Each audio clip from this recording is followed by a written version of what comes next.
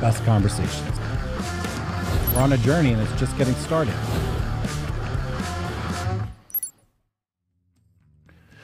All right, all right, all right. We are live. It is Jack Murphy. This is the Jack Murphy Live Show, and we have got my favorite John Jack in the whole wide world. Barely needs an introduction. My good friend, the one and only, super powerful Jack Posobiec. How you doing today, Jack?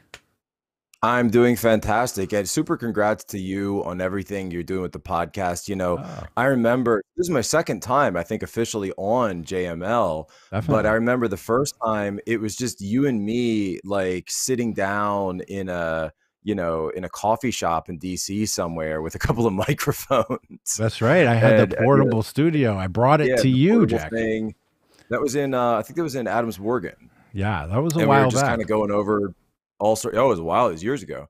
Um, now that we're that we're old and we've become veterans of the culture war, and so um, you know, just it's been amazing watching you grow and have this become such a powerful arsenal of truth and discussion and conversations that otherwise you know would not be had and it's you know also having been along for the ride of you know watching everything that uh, antifa did specifically um, you know, to you and uh, tried to ruin your life and destroy you, and how they've only made you 10 times more powerful than you've ever been before.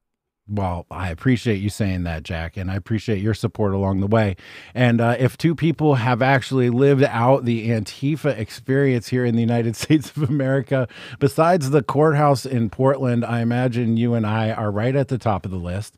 Uh, you yourself oh, yeah. have been up in the mix. This is not something that we're talking about uh, from an academic perspective. We've lived it. Uh, Jack, you know, since you're being so nice, I'm going to be nice to you too, man. I remember when we first met. Uh, it was right around the time uh, of the deplorable Ball in 2017, and uh, you were you were powerful then. But man, you have only really just exploded, and you are a absolute force of nature. So congratulations to you, Jack. It's been a pleasure seeing you grow, and basically just take over the universe. So keep it up, buddy. I appreciate it, and I appreciate you coming back.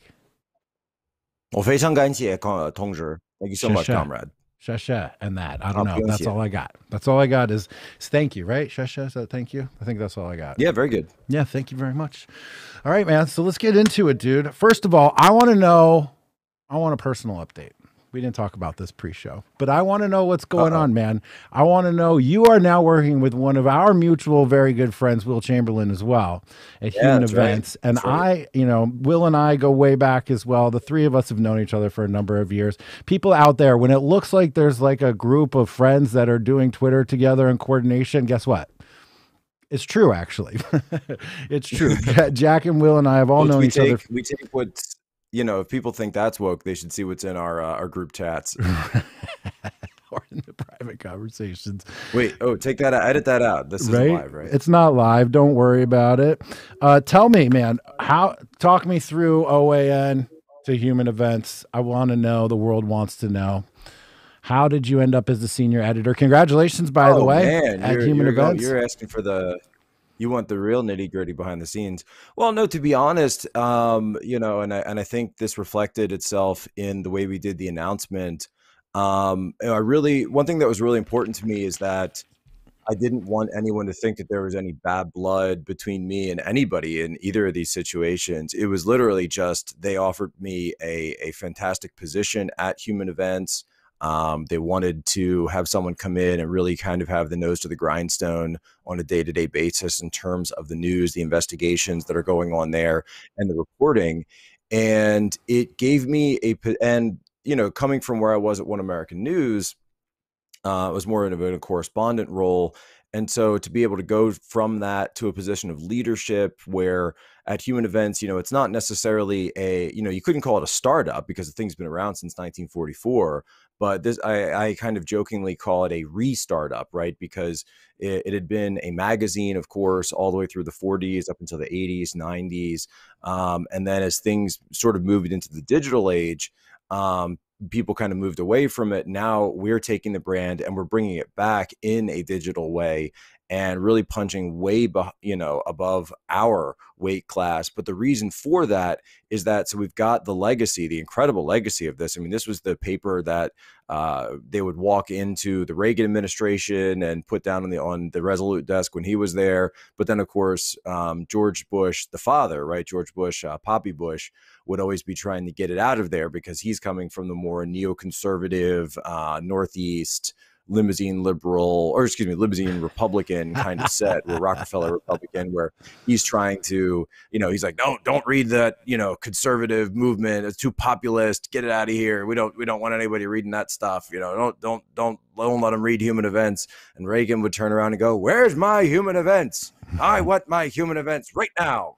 You know and so I love that legacy for it. You know, this is the paper that the establishment doesn't want you to read, and um, something that you know, I actually haven't even said this publicly yet, but since we're on here and I know that we talk about culture a lot and that it's something you guys talk a lot about on this podcast, we are actually looking to, um, and, you know, this is totally in just the pre planning stages right now, but we are actually looking to return to print um, and return to an actual copy of the Human Events magazine. Maybe it's a monthly thing, maybe it's a quarterly thing. We have to figure it out, but something that'll be for, you know, subscribers only. But we're going to make it really nice. We're going to put exclusive information in there. We're going to have artwork. We're going to really blow out, you know, what you see on the covers. We want it made from good quality, like cardstock um, covers and something that you could have and it's like wow you know really display and show people that you have it um, you know put on your coffee table whatever it is and I think that that's some, I think there's a space for that because even though the you know the information war as marshall mcluhan said world war iii will be a guerrilla information war and in 1970 he said that. That's how far ahead mcluhan was. And he was completely right. But that being said i think there's space for a smaller zone of information, a smaller zone of communication. There's circles. There are people who want to go deeper on certain issues. There's people who want to go deeper on, you know, sort of long form, obviously discussions like we're having right now.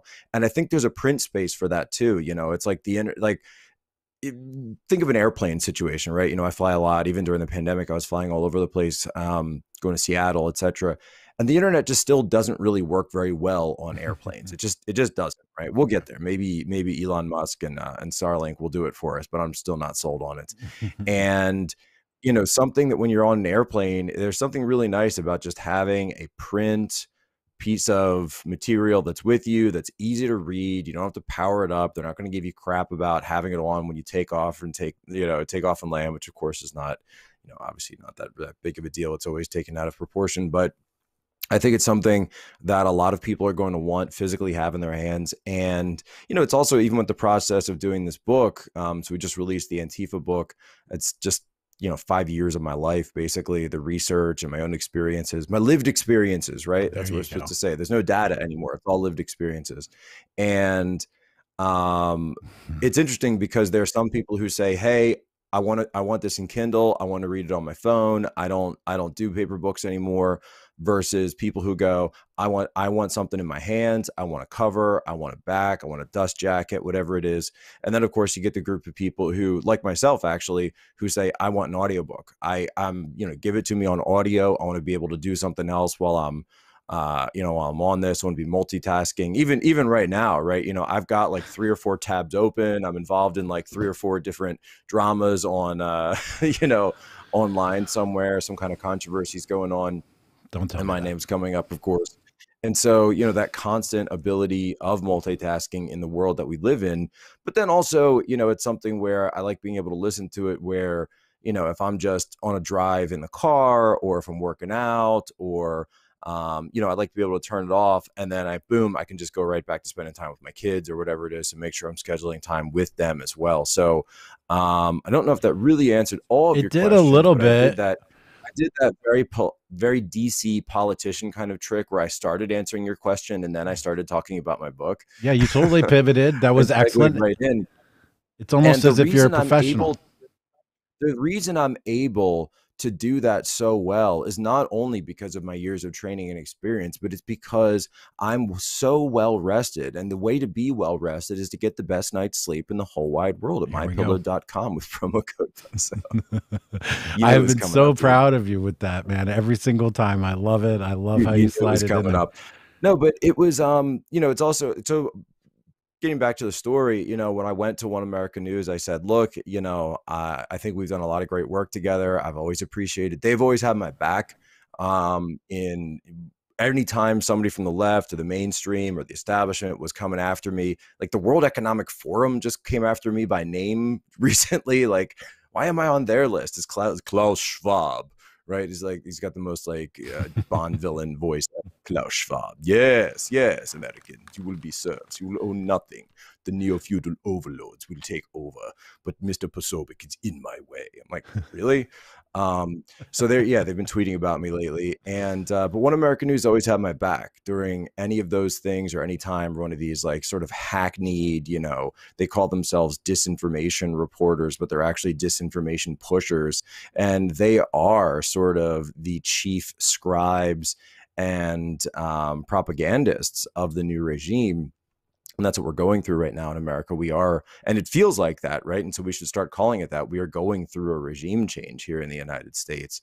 Uh, and in many ways, this has been going on in a soft, uh, in a soft capacity for a long time, but it's it's it's now come out and it's shown its face. It has been completely exposed, and so we're going to have to wrestle with that. Where do we want to continue to go as a country? And uh, you know, so for me, when I went to you know the leadership and told them, I said, look, you know, I for me, I look at this as a career move. I look at it from going from a point where, hey, I'm I'm one of the correspondents here but over there they want to make me an, an, editor and you know i want to give that a shot i think it's at that and i'd done three and a half years already at one american news so that was a pretty good chunk of time. Mm-hmm.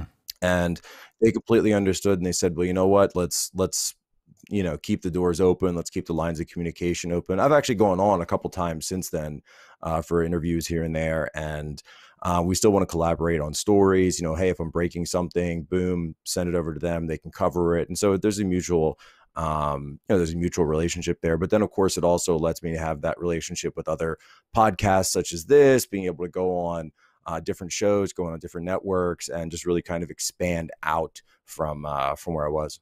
Yeah, well, congratulations on that. Congratulations to Human Events as well. I'm really proud and happy to see you guys coming together, seeing Will and Jack come together. I know the future is going to be right, be very bright.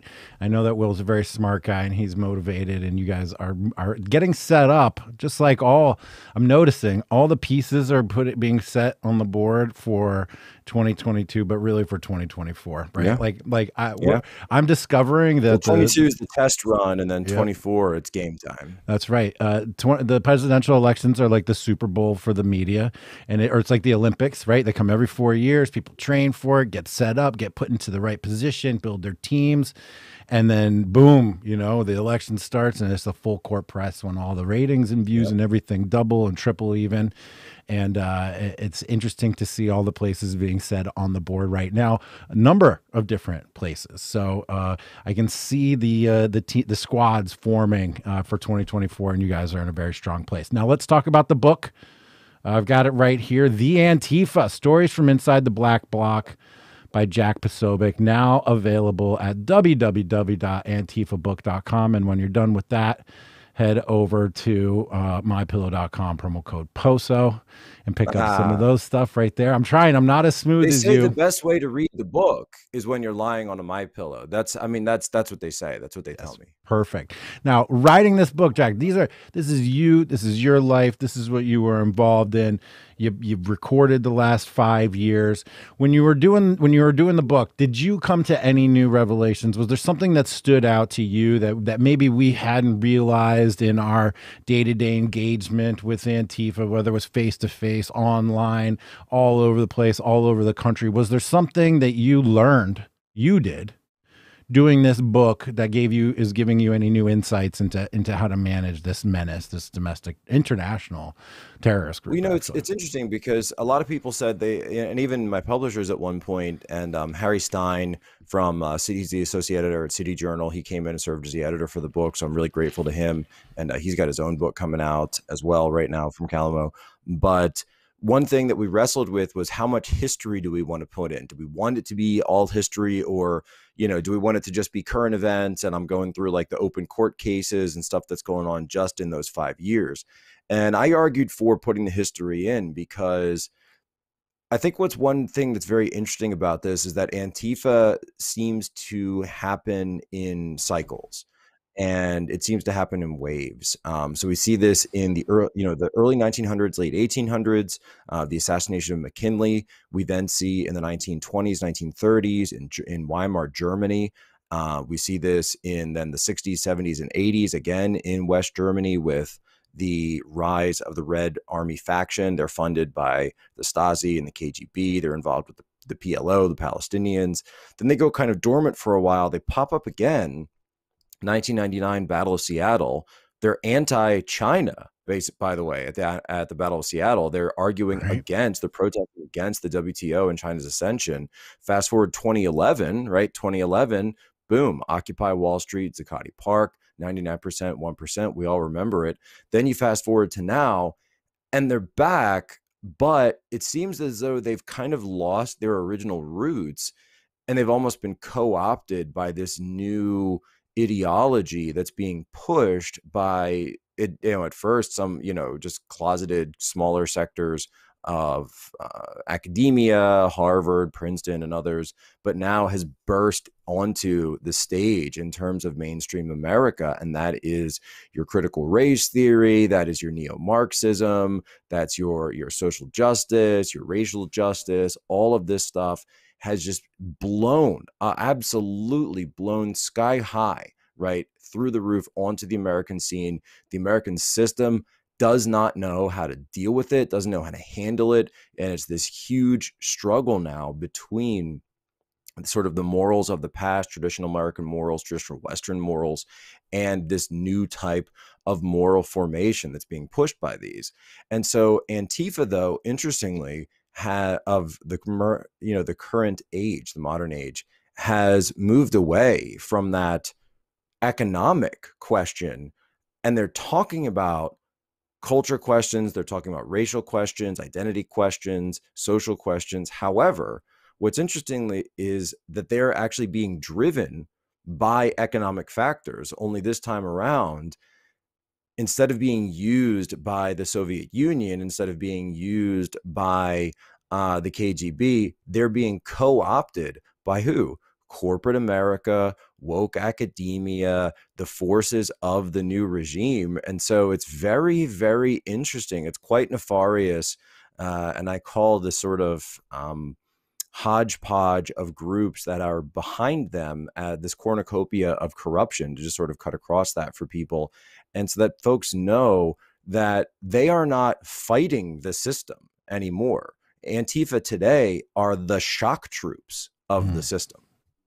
Indeed, they are. And in the past, subcultures that get co opted by the corporate structure tend to be on their last legs. That is the moment at which you know that an underground phenomenon that had a lot of cool fact, not that Antifa's cool, but just the way the co option process usually works.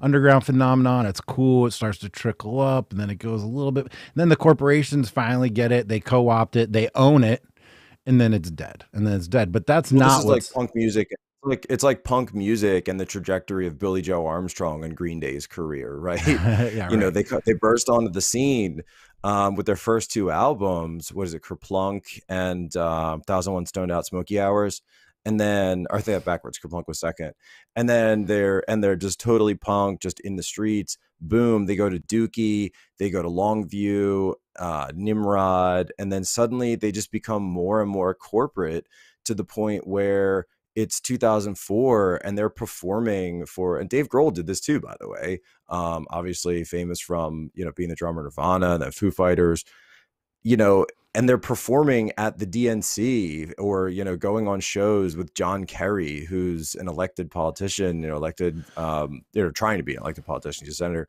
And I remember actually you know looking at that saying what's going on? Like I thought you guys were musicians. Why are you getting into this stuff? Why are you going so corporate? And I remember, you know, fast forward a little bit, but do you remember the Juggalo March that happened uh, in DC a couple years ago? Yeah. Yeah, so I go to the Juggalo March, that's the Insane Clown Posse, and they were actually protesting, right, the FBI because the FBI was trying to label them like a hate group and label them a criminal gang and all this other stuff. And I thought it was really interesting because, hey, here's a, a subculture that's protesting the FBI, but they really haven't allowed themselves to be corporatized or being taken over from that. And that's because of their sort of top down approach to things uh, in terms of the way they kind of govern all that. And it was really interesting to me because Antifa actually shows up there and they start trying to recruit people. And and at first the juggalos are like, whatever, whatever, you're just marching with us. But then Antifa was out there in force. It's this DC Antifa, then a bunch of personalities that I'm sure you remember. Mm. And and then as it got throughout the day, Antifa actually got thrown out by the juggalos because they kept trying to politicize things. And the jug and the antifa kept saying well you know we just hate trump so much. We we hate him. He's terrible. He's awful. And the juggalos would turn around and say no you don't understand. From our perspective it's f all politicians and all politics. Like we we don't want to play your little games. So if you're to be like that get out. Get out uh, we had a very interesting super chat already from Eliza right now. She says, How do you expect Antifa to upgrade this summer? what is going to be different? Are they going to have different tactics? Are they going to take a different approach? And she says something about today's sentencing of Derek Chauvin. Is that right? Is that happening today? It is uh, suspected to happen today in in Minneapolis. So they did announce already that the judge, as as to be expected, um, did reject his uh, plea for a, a, a retrial. Um, one of the stories that I broke um, while I was still at One American News was that this juror um, who came out publicly during the trial was giving interviews from everyone to the Wall Street Journal to NBC. Actually, had not on his Facebook page, but on his uncle's Facebook page. His uncle had posted a photo of him attending. We were just talking about marches in DC, attending not only the George Floyd march um, that was held by Al Sharpton, but he's got a George Floyd shirt on, he's got a George Floyd hat on, um, and he's out there protesting against all the stuff George Floyd's brother is speaking at the event. So he lied all over his jury form. Mm. Now, the judge in that in that case, people say, "Well, hold on, that's that's obviously a grossly biased jury. You can't have, and if one person on there has that bias, he's hidden it, uh, he's gotten all the way up."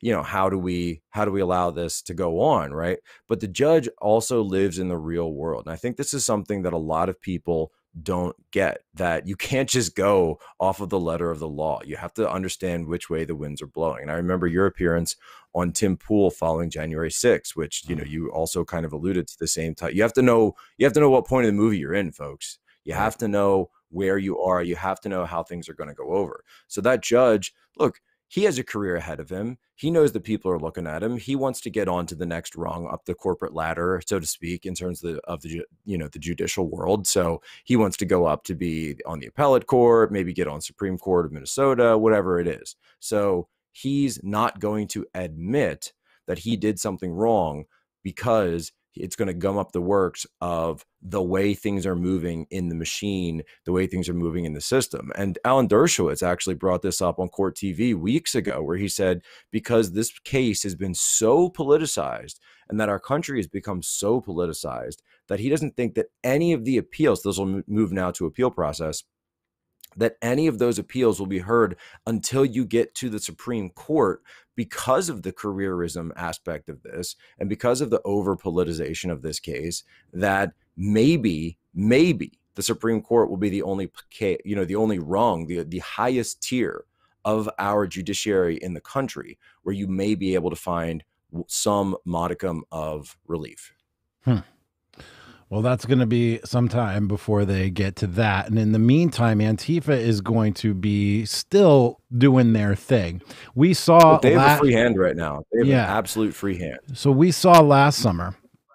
We saw the escalation from the streets. We saw the escalation in in, uh, in Portland, and especially we saw the escalation with their coordinated assassination uh, of Jay in there in in, uh, in the end of the summer last year, and that was a real scary moment seeing the way that their team operated in the street together, people in front of the target, people behind the target, moving ahead and around them, having people look out, having people filming it.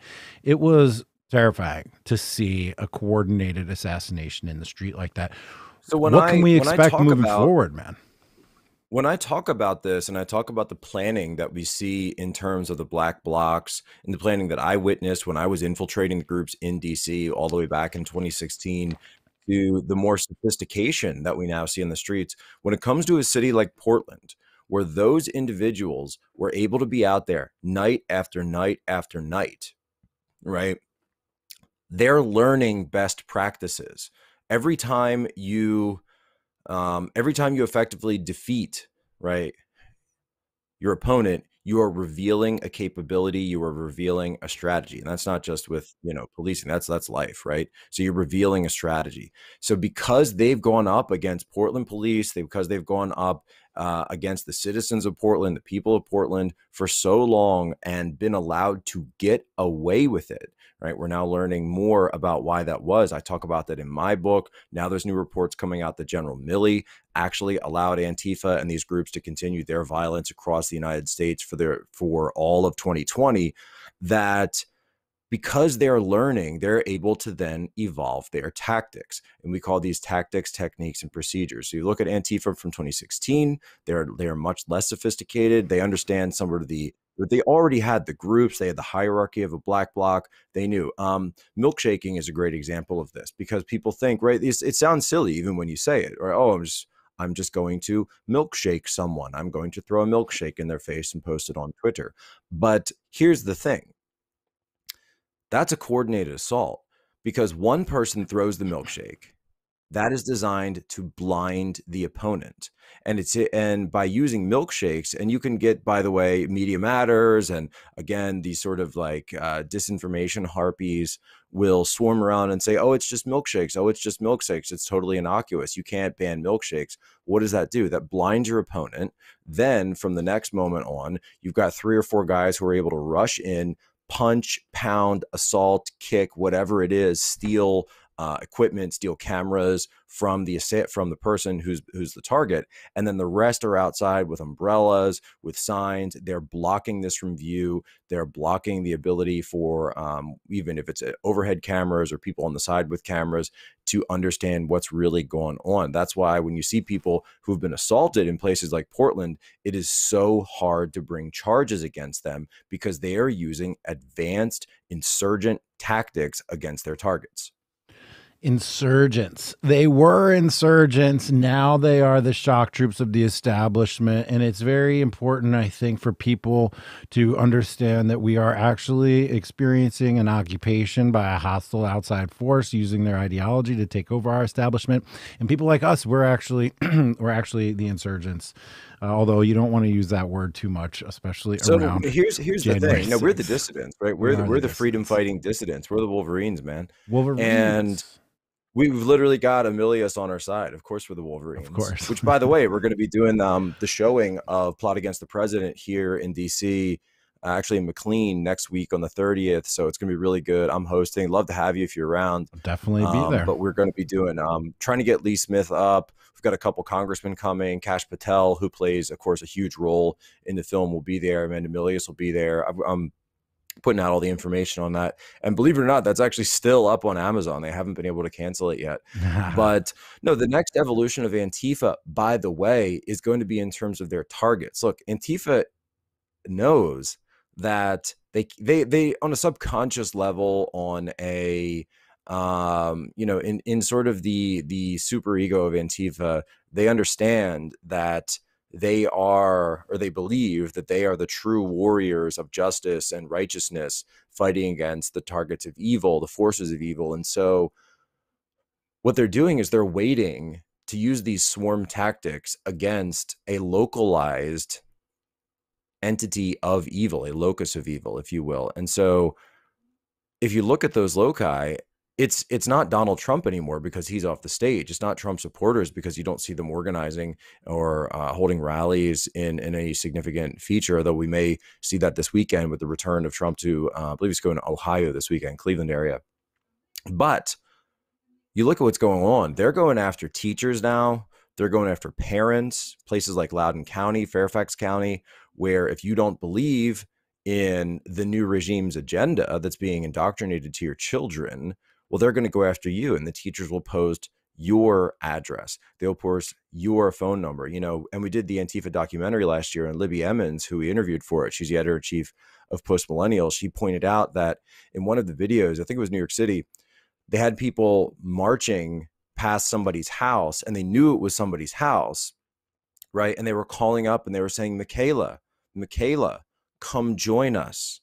Come join us, right? You have to join us. So in the new morality, if you don't join, you're part of the problem. And I say new, mm. but this is not new because we've seen this in the Chinese Cultural Revolution. We've seen this in the Bolshevik Revolution. This idea that if you are not of the revolution, if you are not of the new regime, then you are an enemy. And when you look at those photos, right, of the struggle sessions from the Chinese Cultural Revolution, and they were forced to wear the signs across their neck, and they're paraded in front of stadiums, um, and got their you know their arms tied behind them and pulled back. Sometimes they they're allowed to live, sometimes not.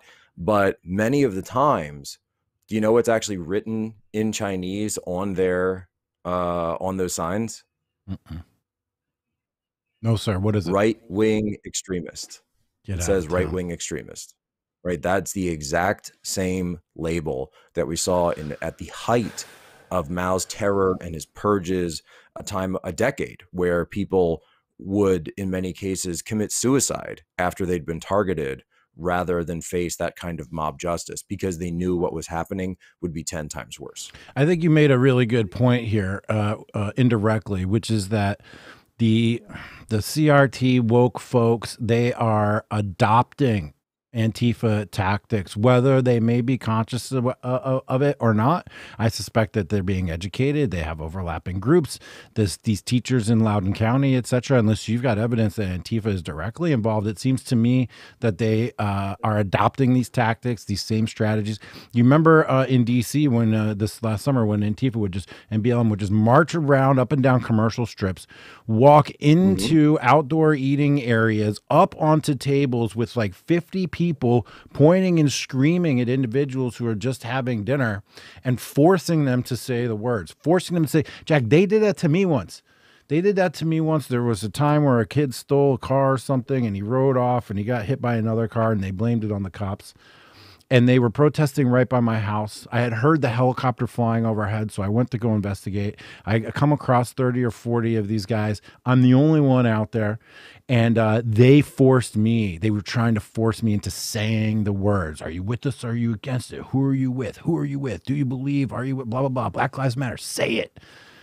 And I couldn't, of course, and I wasn't, and I definitely wasn't going to do it, but I could feel it in my in my soul like you know, I was definitely not going to say it, but like I could say, I could see if I did, like what kind of a soul destroying moment that would be to just come out right, and, and, and, and make an affirmation against something that you you know is evil and wrong. And and and what you see going on there is the same as any other type of occupying force throughout history. It is we are in charge and you will swear fealty to us. Whether you believe it or not makes no difference because you will acquiesce to our authority or you will be the victim of our authority. You will be the target of our authority in terms of force. Whether the, and now whether that force is physical violence or it's unpersoning, it's having a rep, it's reputation assassination, it's uh, being able to destroy you from uh, your your bank accounts, your payment processors, your job. You won't be able to hold it anymore. Uh, or in the case of many of these people who are involved, who were peacefully, you know, involved in the January 6th Capitol riot, where you know you've got this guy, a Vietnam vet, recently who was just arrested yesterday, and he said, "Look, I, I spoke to the police, and they they opened the door and said it was okay to go in. I just wanted to use the bathroom." And he's right. getting arrested in front of his grandkids. Right. And they just sentenced somebody either yesterday, today, the first Which one, people need to understand that those those targets that the FBI is putting together are being handed to them by Antifa cells. Okay? Right? You see these people out there, they call themselves the insurrection hunters.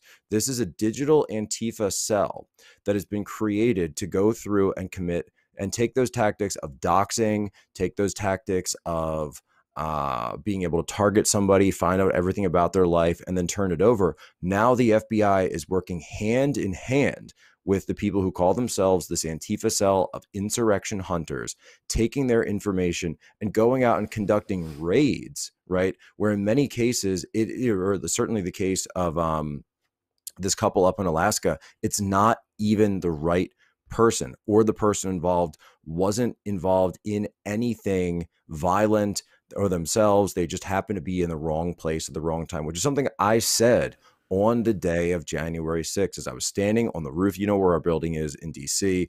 I'm standing on the roof of that building, 101 Constitution, looking across, and I'm saying, you know, the people that are coming up behind the very front are going to have no clue what's going on here. They're going to get wrapped up in this and they're going to walk in because they see the doors open and it, it is nominally a public building, right? That's open on a regular basis. They're going to think that they are on a tour. And so that is being used against them by these cells of the insurrection hunters to go after people, these, you know, grandmothers of five and Vietnam vets who, you know, are getting getting on, getting advanced in years, right? The entire narrative is blown up and everybody can see that the narrative is false that we've been told about that but it doesn't matter because again acquiescence to the narrative means that you are swearing allegiance you are swearing fealty to the new regime. They've become linked in a parallel symmetrical structure now where if you say there was an insurrection on January 6th it means you are someone who has been fully subsumed by the new regime and by their new moral framework hundred percent. Now, give me give me a couple minutes here, because Jack, I got a lot to cover. First of all, man, you and me, we were supposed to be together on January sixth. You and I were texting and calling each other. We were supposed to meet yeah, up and go right. to the Trump speech together, but we couldn't coordinate. And then we coordinated after the speech. I was like, dude, it's not right. It's not good. And I bailed after the speech. It was just, I just did not want to be there. You were down there on Constitution yeah, Avenue. There was a weird energy. There was. There was I, I bailed early. I was out by like 8.30, 8.45. Yeah. We we were supposed to be there together. Now on this insurrection hunter thing, you and I again. So if you brought this up to like Good Morning America or whatever, they would laugh at you and be like, "This is an absolute joke." But because we're talking, I can tell you, and you know from personal experience, after a night for freedom in 2018 that picture of you and me and Chelsea and Cassandra and Will Chamberlain surfaced from uh, after uh, we did the uh, escape room. And Antifa posted that picture. They're like, look at these fascists that Chelsea Manning is hanging out with. And, and above each person, they numbered each person and they put everybody's name at on top. They put Jack Posobiec, they put Will Chamberlain, Cassandra Fairbanks. But then there was me and my girlfriend. My in the picture. Yeah, my my my wife, going to be wife now, my fiance. Right, right. Your fiance is in there. And there was two question marks above our heads. And they figured it out, man.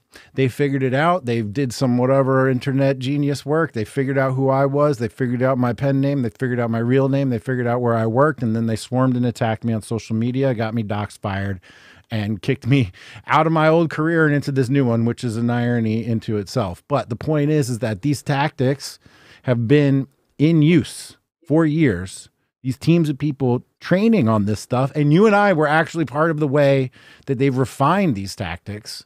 And now they're using them on Janu- on the January 6 people. It's going to keep evolving. It's going they're iterating. They're iterating. Right, and, and, and this is that yes. not it's going to go beyond January 6th. January 6th just gives them Can a target rich environment. But yeah. you wait. Once that has been depleted, do you think this do you think the people who have come up with these tools are just going to walk away? It's like the military industrial complex, right? They are going to find a new villain to fight. There there always has to be, you know, a Eurasia that we, you know, we've always been at war with Eurasia, right? So they're going to find, oh, here's this father who said something wrong at a school meeting or here's a guy who said something on uh, in a boardroom we've got to go after him or here's a 14 year old kid on tiktok who's saying something stupid or here's someone who had said something stupid on tiktok uh, you know years and years ago whatever it is right? Find them track them down trace them destroy their lives. These are the tactics that are being done by these cells. These cells and, and nobody cares right? Not only does nobody care that the FBI is now working hand in hand with these people whose declared their declared goal their declared end state is the eradication of their political opponents it's terrifying to think that because we do know that Christopher Wray said specifically, it's been reiterated. Then Joe Biden said it in a joint, his first address of joint session of Congress, he said that white nationalism is the biggest threat that we face in the United States of America. I asked Kash Patel point blank someone who was the National Security Council top advisor for counterterrorism and the chief of staff of the Secretary of Defense. I asked him point blank, Do you have any evidence that white nationalism and white nationalism terror is the number one domestic threat facing the United States? What was his answer? It was an unequivocal no. No. But yet, the FBI director and now our top generals in the military as well. So we're going to get to Milley here in a second.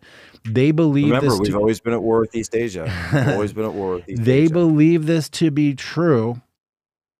And now they can see, I guess they see Antifa as what? Patriots? Antifa are now actual patriots trying to save the establishment trying to save our government by helping them dox these people? I mean, is that the mindset now of our top military leaders and all of our institutions that they see Antifa as a as as a as a, an aligned group to protect the United States of America when we know that their state so, goal is to destroy the whole thing?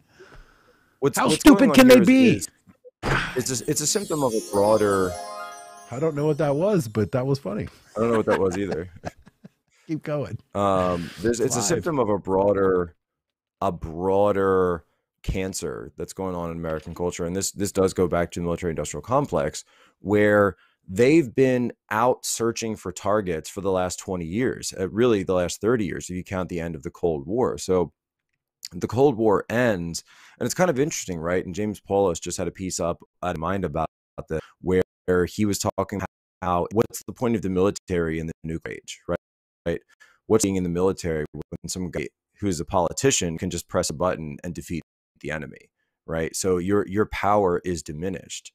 Well, that created this situation where because remember the military for thousands of years has been the symbol of power right the you know the, the politicians cannot do anything without the military but when the nuclear bomb 1945 happens right Hiroshima, Nagasaki, suddenly that power is transferred, right, in a very, very supernatural sense from the military to the civilian politicians. The military knows it. So ever since those bombs dropped, and this is this is Poulos's formation, which I think is interesting, the military has been trying to explain to us the justification for their existence.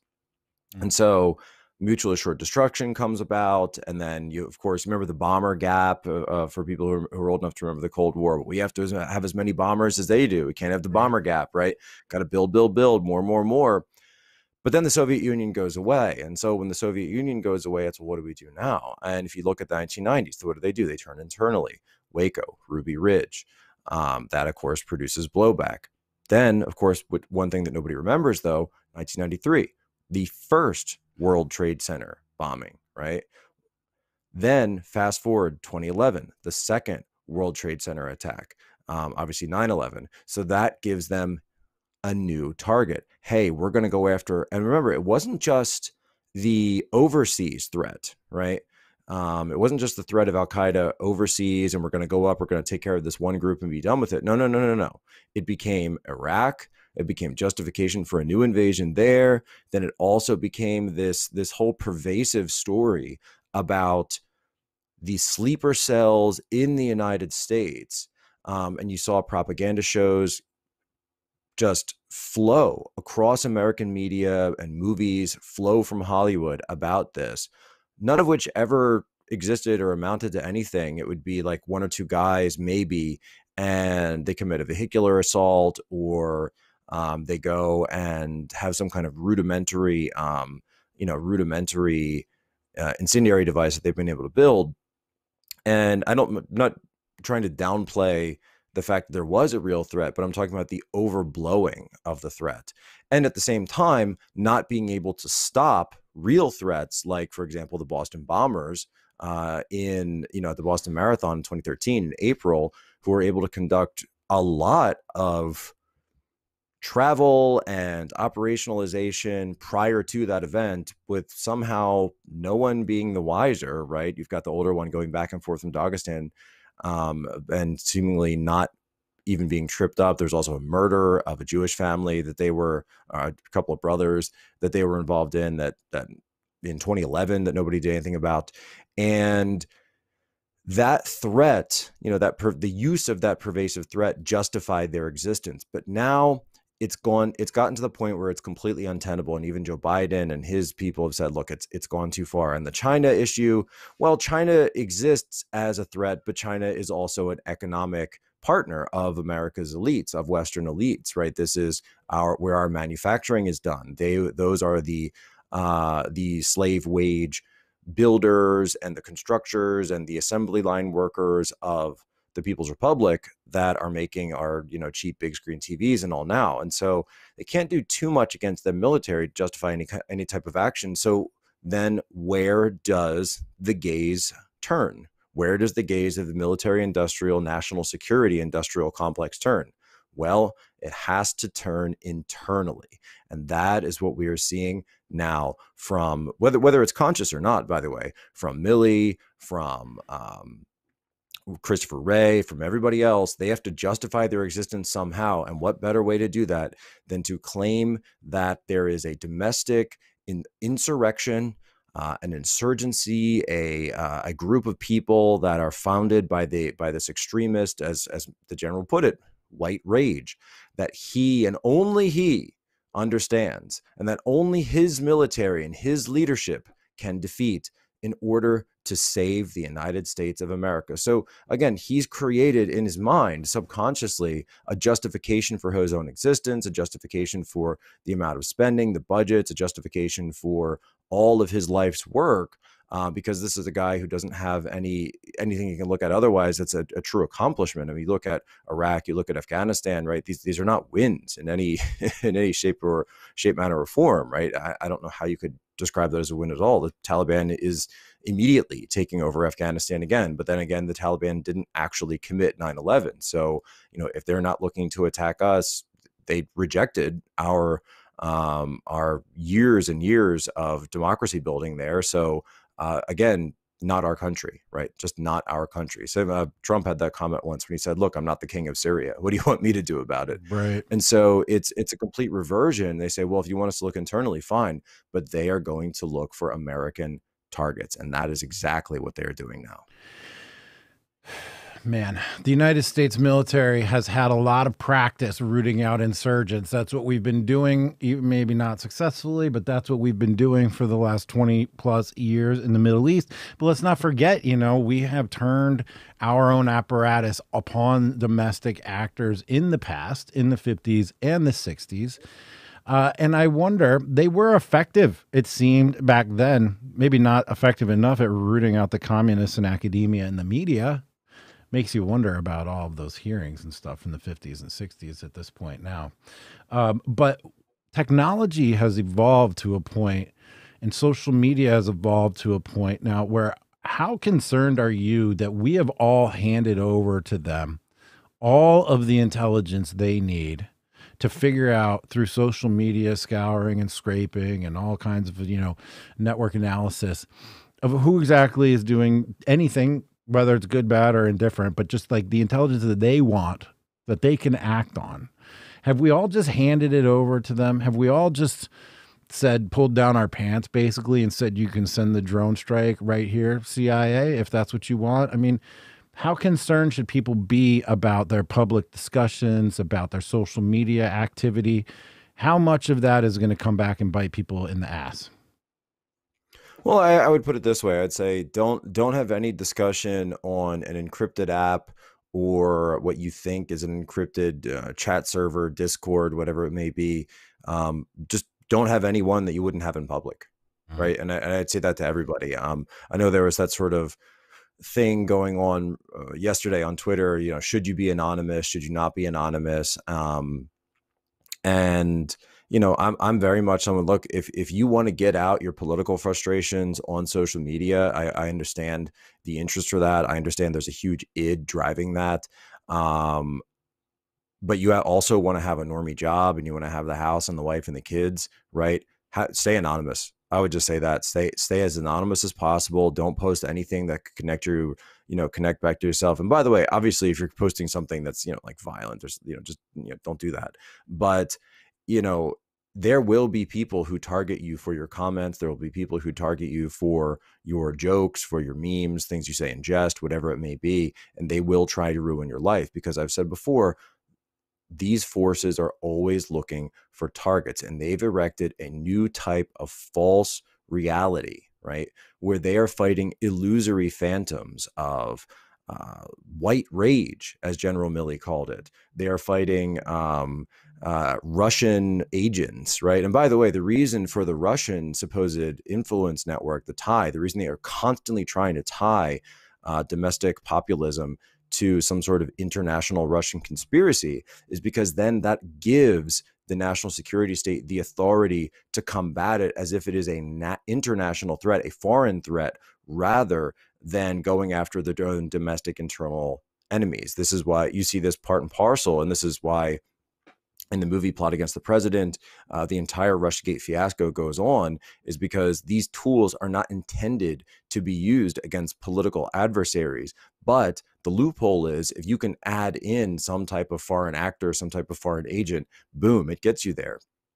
And that's one thing that a lot of people say to me. They say, Jack, you know, is, and I've seen uh, Eric Weinstein was posting about this recently. He said, well, I wonder if, uh, the CCP and and the People's Republic of China are behind wokeism and critical race theory and you know Antifa and all these different things. And I say, you know, Eric, it's it's no, they're not. They're they're really not. This is domestic. It is coming from the West. It is being driven by white liberals and the intersectional left that are attempting to impose and are doing a very very good job of imposing a new regime on the citizens, the individual citizens of the West. Now that new regime is here Right. And as you said, it's like uh, beginning to reveal itself. And it's revealing itself, uh, especially in the military. Uh, the news that's been coming out has been terrifying. I mean, the, the the Space Force guy getting in trouble for just reading about the enemy. And we've got General Milley now who eh, what what did he tell Stephen Miller to shut the f up when Miller was talking about the problems that we were having domestically in the United States, the fires, right. the arson. I personally viewed a hundred or more felony incidents in one night. Assaults on police officers, arson, people tearing things down, destroying like it was real. It was happening. I can't believe that people were pretending that it wasn't happening. But, but think about that. Think about that. Why did that evoke such an emotional response from right. Milley? Right. Why? Why did he? This is a four-star general. Why did Why did Stephen Miller, who I think, as to say it nicely, he's not exactly an intimidating guy, right? In person, um, you know, why does why does his comment evoke such an angry, insipid, and and snippy response from Milley. It's because that information threatens his entire worldview. That information causes a cognitive dissonance spike in his mentality that shudders his entire body through a physical a physical reaction. You can see the same uh, as he's walking with President Trump on the square of Lafayette Square Park in, on the north side of the White House after they've uh, removed the rioters and they're going out there in a show of force to show that the American president and the American system will not be intimidated, right? That was the point of that. But you can see Milley's face um, as he's walking there in his his ill-fitting uniform um, that he's he's looking distressed he's giving side eye he's looking around he later does this huge apology for it because he knows that he is a man of the new regime and the new regime is not allowed right, to admit these things exist. Because to live in the new regime requires you to adhere to a series of lies, deceits, and falsehoods that have all been carefully erected to prevent you from admitting that the actual truth, right? The actual reality exists. The rise in crime, that's gun. But there's always an answer for everything, right? The rise in crime, that's guns. That's the NRA. You have to go after the NRA, right? Um, the rise of Antifa, well, they're just responding to racism. They're responding to white people. Um, the the January 6th, well, that was an insurrection. That wasn't people who were just wanted to have a you know a redress of grievances against the government that got out of hand. No, no, no, no, no. That has to be the worst thing in the world. And everything that happened throughout 2020 was just localized protests. I mean, you could easily turn that around and say, well, January 6th was just one building, right? Well, no, no, no, no, no. This was the worst thing that's ever happened in American history. Forget about 9 11, forget about uh, the Boston bombing, forget about Oklahoma City, forget about the Civil War. No, no, no. This, this, and this alone, right? Because again, these are the lies that you're required to tell yourself to be able to survive in the new regime. And this is a guy who has spent his entire life in the bureaucracy of the United States military, his entire adult life, and he has survived by repeating every single piece, every single plank of the new regime's platform that's been handed to him. He's taken them, he's subsumed them, he's internalized them. When he's lashing out at Miller right there, it's actually quite interesting to me, the psychology of it, because that's his conscience, actually. That's mm-hmm. his internal understanding of what is true and what is not true. And he knows that what Miller is saying is true. And he can see with his eyes what's actually happening. But because he's imposed so much of the false reality on him, he knows that he can't accept it. So he's actually not fighting against Stephen Miller, he's fighting against himself. First of all, Stephen Miller, if you're out there, I'd love to talk to you on the show. It's been hard to get in touch with him. Uh, he seemed to always be bringing the red pills everywhere that he went. And that one time that he did the press conference was amazing. Was amazing. I wish we had seen well, more. Remember, right? Go, going back to that, just the the formulation of what is a red pill, what is a blue pill. I think a lot of people um, mistake that for thinking red is Republican, blue is Democrat. No, no. not at all. No. Blue means you continue to exist in the false reality Red means your eyes are opened to actual reality. That is the point of a red pill that you cut through, right? You cut through those layers and layers of what do they call it? Crit- the critical lens, right? The critical no, you you take away from that, and you know, Syrio Forel in uh in the first book of um, a Game of Thrones, see with your eyes, Arya, see with your eyes. Mm. Interesting. Way to go. Way to way to way to call back and close the loop on all of it by coming back. I actually didn't. I didn't mean to do that. It just. Uh, it just actually kind of. it just came I was, out. I was flowing. It's, I was flowing, man. I was flowing. It's authentic, Jack. It's authentic. Now, uh, com- combine the complete takeover, well, at least of the military leadership, uh, by this desire to survive within the new regime. Combine that with Biden's and, and but certainly not the first time a new regime has targeted the military for purchase uh, immediately upon takeover. Of course, you have to target the military first. Again, this is completely historical. Right. But combine that with Biden's comments about the blood of patriots being brought to American soil by our own domestic F 15s and nuclear bombs. Um, I'm getting a little bit concerned. Uh, who's standing up for us, man? Like, how did this happen?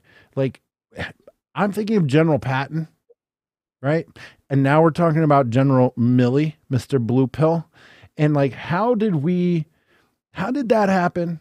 And what's here to protect us right now? If not going to be Second Amendment, if not going to be the military, if not going to be the Senate or the Congress or the universities or the media, who's looking out for us? How did how did the military get here? If it's any different than what we've been talking about, and then who's you looking out for us? I saw I saw a comment on uh, on Twitter the other day, and people people say, "Oh, you know, Poso, you, you never, never read the comments, never respond to anybody." People ask questions all the time. Actually, I do. I do read the comments. I do look a lot. Um, not again, you know, I get I get a lot, so I can't read all of them. But this one said, "Just wait for the cavalry to arrive."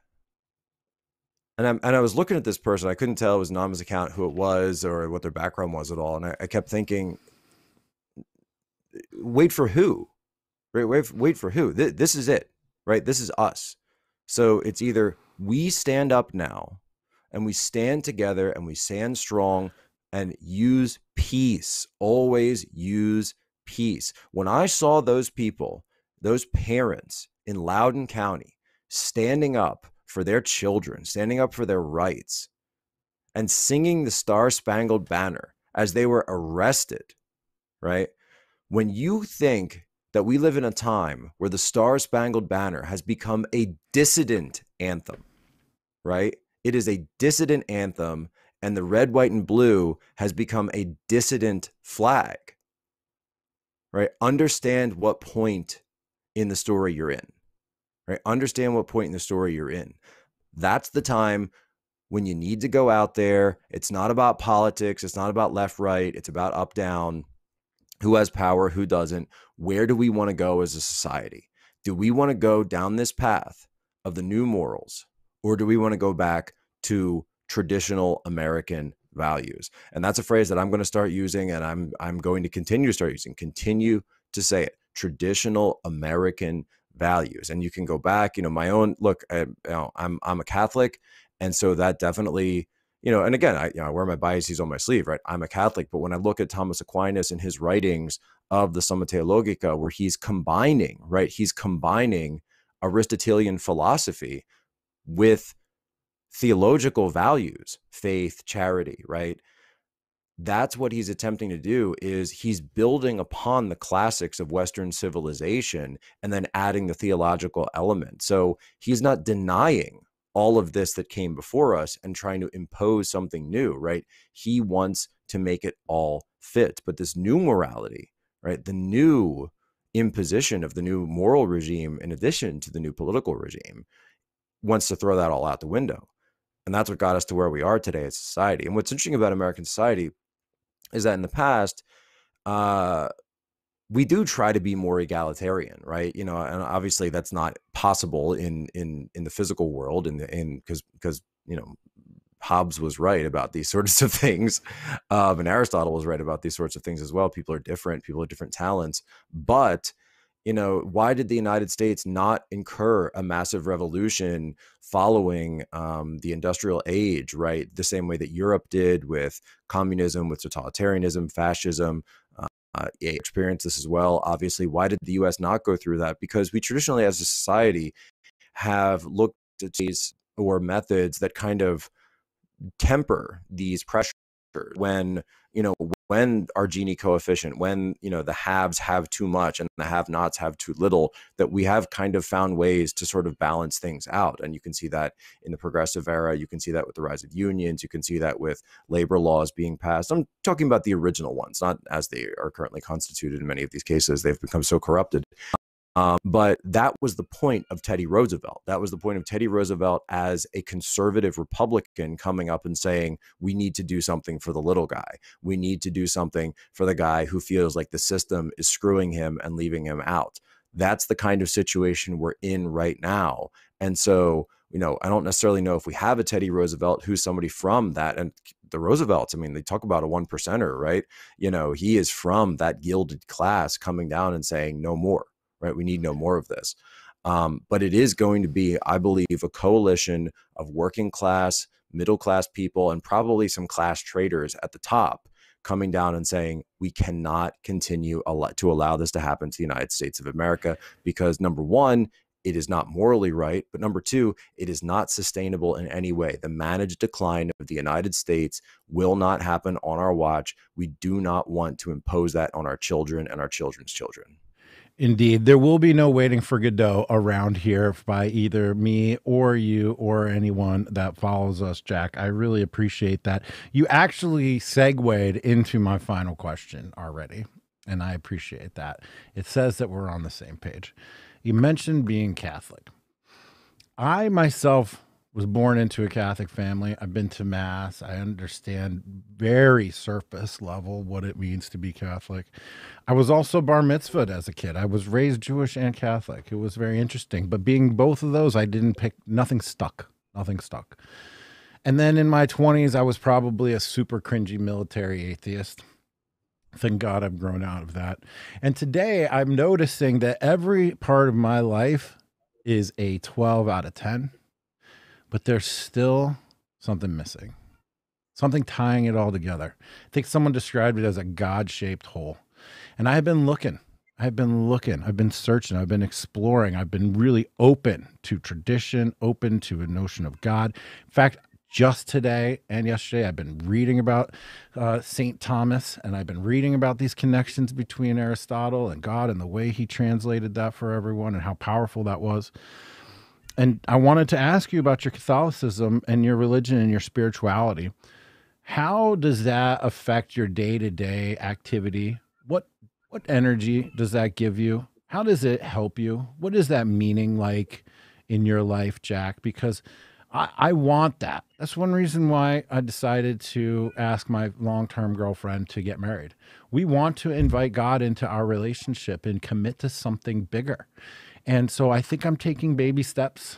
Uh, if you could call marriage a baby step, uh, but uh, just can you just talk to me a little bit about your your your spirituality, how it how it works with you in your life today, and what what role do you see for it in America? I'm talking to Sohrab Ahmari next week, so I know where he comes down. Great guy. Great I know guy. where he comes down on this, but tell me just a little bit about your personal experience and, and how does it work for you, and what do you see for it uh, as an as our nation as it relates to traditional Well, yeah. and spirituality as such. You know, this is something that the founders talked about in the sense that our Constitution doesn't work without a moral backbone, right? Without a moral fiber of the nation. And you largely had that at the time of the founding. Um, you, you, spiritually speaking, sure, there are there are various groups of as now as a Catholic, I would say there's a, various groups of Protestants out there, but um, you know there was religious pluralism, but it was generally Christian, right? It was a generally Christian founding, uh, largely Protestant, and so at the time, um, the the morals, yes, there's differences of doctrine in terms of um, the various Protestant groups, but in terms of the at least at that time, the moral underpinnings of it, this was this was all straight. Now this that that has been clearly corrupted, not only in terms of Protestantism, but also in terms of many of the Catholic um, Catholic churches, Catholic parishes, um, Catholic institutions, and so you you do see these splits. You see a con- there's sort of a conservative church, and there's some there's certain rites and certain groups of of priests and parishes that are that ascribe to this more conservative doctrinaire version, right, of the writings and of the teachings and of the traditions, and then you see this other church, and you see this in in progressive Christianity most pronounced, but um just wants to go with the times, that wants to take on whatever worldly um, hot button issues that there are, and always be kind of pushing those and jumping ahead, jumping forward. And you know, there's this there's this thing where I actually was in uh, down in Miami, and we went to this church. It's called Gesu Church, which is the oldest church in Miami. It's built 18, 1800s, and uh, Miami's not actually not that old of a city. Um, it was it was mostly just like swamps and marshes until about the uh, late 1800s, early 1900s. But this church is there, and there's a Cuban priest speaking. He said, you know, you can't go to these churches that only talk about the mercy of God and the love of God. Right? He is merciful, and he is loving, but you cannot escape the judgment of God and the judgment aspect. And one thing that we teach in Catholicism that to call out sin, to admonish the sinner, right, is an act of spiritual mercy, right? It's an act of spiritual mercy to admonish the sinner. This is when people say, "Oh, the you know the church wants to punish Biden by denying him communion," right? This is the big uh, issue with the Catholic Church right now. I say, no, you don't get it. It is an act of mercy because he is living in a public break, or what we would call a schism, right? He is schismatic with church doctrine. He is publicly denying the doctrine of the church and then potentially being a role model for others to deny that teaching as well. And because of that public schism with church teaching, that is the reason for the public admonishment as an act of mercy because we pray for him to return to that tradition. And so uh, when Thomas talks about this, he says that our theology and our faith give us not only foundation in life, but also purpose. So Thomas writes that life is kind of like it's sort of like a boomerang, right? We we start with God, then we're thrown out into the world all on our own by ourselves. And that life's journey is a journey of returning to God. But then the interesting question is, well, how do we do that, right? Does that just mean going to church? Does that mean you know become a monk and you, and you do all the time? what Thomas says, and he's he's drawing from Aristotle on this because Aristotle was doing what? He was studying the human condition, right? And this is something that definitely concerns theologians as well as philosophers. That in the human condition, you have the situation of yes, we are prone to prone to sin. Man has fallen, right? We are prone to uh, base desires, primal desires, but we also have talents and skills and abilities. And so, and Aristotle, of course, goes at length, and Plato builds on this later, talking about uh, what, where should people put those, and how should people categorize themselves, etc.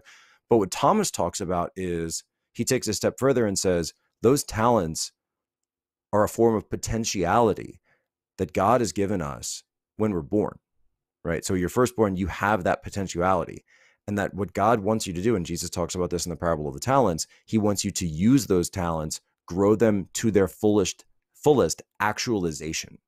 And so as you grow as a person, as you become fully formed and fully realized and fully actualized as a person, if you are doing that in a true moral sense while walking on that moral path, you are actually following the path back towards God that he's laid out for you.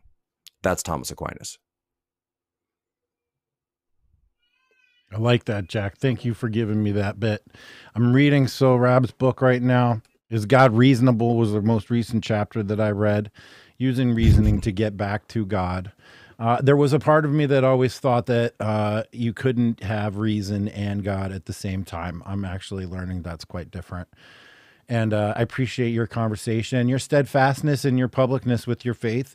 It's inspirational. It's leadership. I appreciate it. I get the feeling it's it's something that we all need. I could go up against some of this stuff without, you know, without you know. I go to church every week, and because I've we've we've we kind of church shopped a little bit. We found a great parish, a good traditional parish, and I I feel energized when I go to church. It doesn't feel like a uh, like a commitment, or it doesn't feel like an obligation. I go in there and say, "Oh, thank God." Thank God I'm I'm with the body of Christ. Thank God I'm with people who, you know, who look at this that know how sinful modern life is and and the world is and know that we are, you know, they say what's what's the holiest part of mass? And it's the end. Right? It's actually the very end, right? Certainly we have the the Eucharist, but the part of mass where they says go forth and spread the good news. You are given a mission, right? That's not one hour where you go in there and you say, "Oh, this is nice," and here's you know this little sacrifice, and that's good, and God's great, He's awesome. Look at these paintings. Wow, that's great. He did that for us. No, no, no, no, no, no, no. You're getting your marching orders, right? And I say that as a, a former military guy, but you're getting your marching orders to go out there, spread this news, be that beacon of morality and hope and truth in the world because the world's always going to be the way the world is right that's that's the way it is you're not, you're not going to change that no matter no matter how much the progressives and the postmodernists and um, you know, they're they're. I always try to say they they're um, you know, they're just atheists trying to run away from nihilism um, because they don't know how to how to uh, you know how to balance the two or how to um, you know, make it compatible. They can't they can't agree uh, on it. So um, I said no. That that God shaped hole will always be there until you realize what's really going on behind the scenes. Jack Posobiec, Thank you so much. Congratulations on your success. Congratulations on the positive influence you're having on the country. Congratulations on the book coming out. Congratulations on your beautiful family, Jack. Everybody out there, Jack is truly a role model. Pay attention to what he's doing. I'm sure you all follow him already. By the way, special thank you to Jack Posobiec for giving me that not so subtle push over a hundred thousand on Twitter. I really appreciated that. That you day. remember that? You oh, remember that? Of course, I remember that. You took me from 93 or whatever to like 115 in a day. You were like, "Oh, it's not going to be for another couple days." I'm Months. calculating it out. You were yeah. like, you were like doing long calculus, trying to yeah. figure it out. Yeah, I was trying. I was like, I predicted six weeks out from where it was, and you just did it in the next like 10 minutes. I do appreciate that. I appreciate all the super chats and everybody listening. And guys, the best way to spread this word is to share this interview, share this podcast, share the clips, share the audio podcast, share the YouTube video, hit the like button, hit the share button, hit retweet, do all the things because there's no question people don't want to, us to get the word out. So help us, as Jack said, spread the good news. Jack Posobiec, congratulations, senior editor at Human Events. Thank you so much for coming on with me, Jack. I can't wait to do it again. Thank you so much, buddy. Appreciate it, my friend. All right, we are out. Thanks, everybody. On this show, we're driven by curiosity. We want to chart a path forward best people, best conversations. We're on a journey and it's just getting started.